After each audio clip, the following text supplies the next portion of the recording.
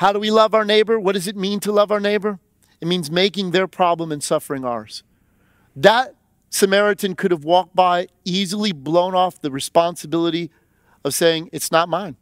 It's somebody else's. I'm not Jewish. They hate me. Why would I show love, compassion, and care? But you see, compassion moved him to do something. And that's what my hope is, is that when we dialogue through these ends, that action will come out of it, that compassion will move within our hearts. When we listen and begin to understand the plight of our brothers and sisters, that their pain, because they're hurting, and that's what I've said from the beginning, that you and I need to understand that if members of my family, and if the black members of my family are hurting, then I'm hurting. Because if we are, if you are hurting, then we're all hurting because we are one. This isn't their problem, this is all our problem.